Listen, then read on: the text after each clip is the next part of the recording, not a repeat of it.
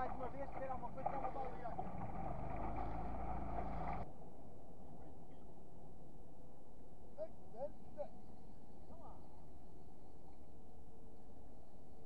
É outra vez.